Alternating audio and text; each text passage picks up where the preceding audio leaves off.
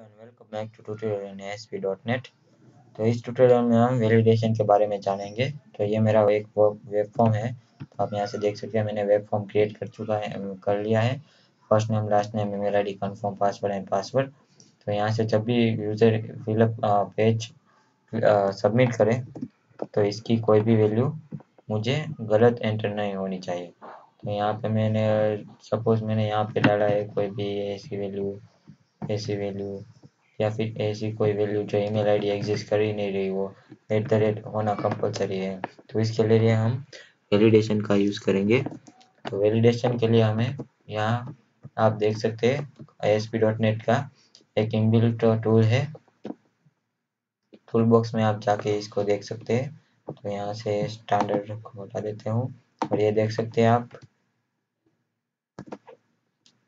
यहाँ से आप देख सकते हैं वैलिडेशन के अंदर टूल बॉक्स के अंदर pointer compare validator custom validator range validator regular expression required field and validator summary तो अब यहाँ से मैं अभी फ़र्स्ट नेम के टेक्स्ट के आगे वैलिडेशन रखता हूँ। तो इन डिज़ाइन में आप देख सकते हैं, मेरा डिज़ाइनिंग व्यू है।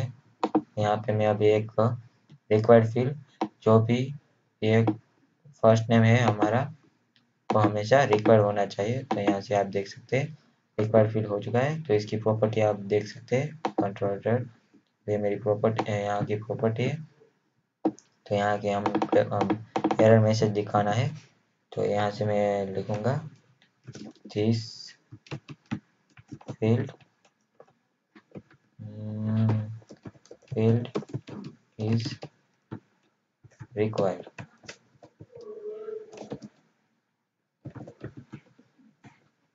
और आप देख सकते हैं।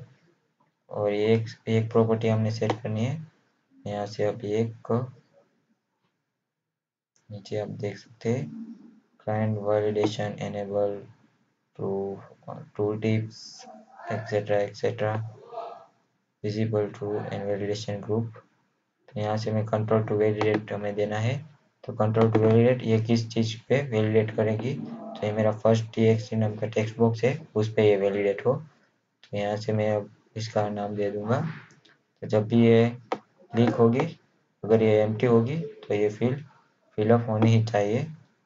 तो अभी मैं यहाँ, आप यहाँ से देख सकते हैं, एक डिस्प्ले कंटेंट है। इसको हम डायनामिक रखेंगे। तो इसका आउटपुट हम देखेंगे। अभी मैं इसको हटा देता हूँ, इसको एमटी रखता हूँ। कुछ आ नहीं मतलब कुछ प्रॉब्लम है। इसका कलर हम चेंज करेंगे। प्रॉपर्टीज़ में ही।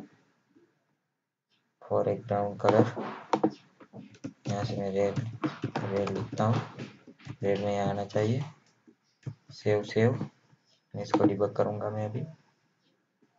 इसका आउटपुट आप देखेंगे अभी। साइन अप में। और यहाँ से राइट क्लिक तो आप देख सकते हैं, ये फ़ील्ड मैंने एम डाली हुई तो ये मैसेज एम प्रॉम्प्ट होगा ही। यहाँ से आप अपना, अपने तरीके से ही मैसेज दिखवा सकते हैं। मैंने सिर्फ़ यही करा है। यहाँ से मैं इसका नाम चेंज करूँगा। First name is required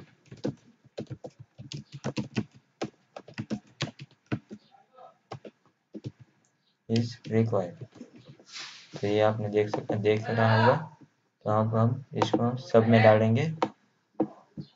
दूसरे में ही रिक्वायर्ड रिक्वायर्ड इसका भी हम प्रॉपर्टी सेट करेंगे। Property last name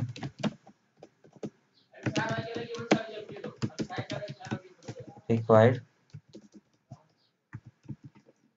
control to validate last name text box ये हमारा टेक्स्ट बॉक्स का नाम है लास्ट बॉक्स और इसका हम स्टैटिक की जगह डायनेमिक रखेंगे।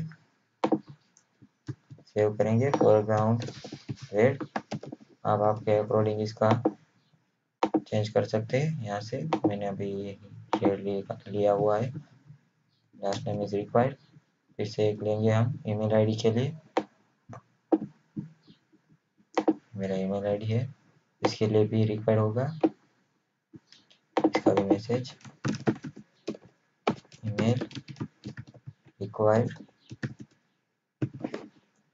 डायनेमिक और colour red control red mail ID और password required field password required dynamic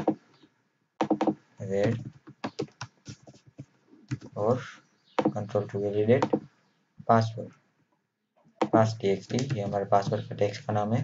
text box का नाम है। और नीचे फिर से यहाँ पे